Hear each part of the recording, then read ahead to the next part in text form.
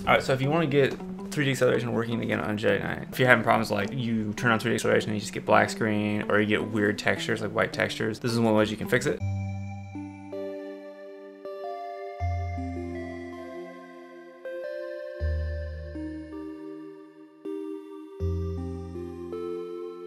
So what we're gonna do is I have I have a freshly installed GOG copy of Jedi Knight. This also works on the Steam edition of Jedi Knight. It also works on Mysteries of the Sith. It's the same way, same process. So what we do is we can go first when you go to open up our web browser and we're gonna go to this link to get the DG Voodoo 2. And I'll put all the links to the URL down in the description.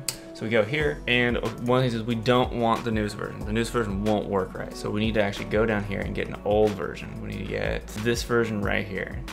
dgVoodoo version 2.54. This is the one we want. So we go ahead and just click on this, download it, I'll download to a zip, and we want to go ahead and open this up. Now, the files we want, we want this dgVoodoo CPL.exe. Go ahead and drag this into here. And now we want to go to MS, and we want all three of these. Just drag them into here, and exit this, and now we can launch our Jedi Knight.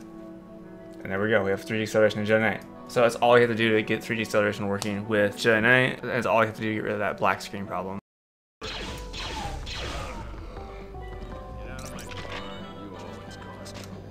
Oh, you just sprayed that guy. no.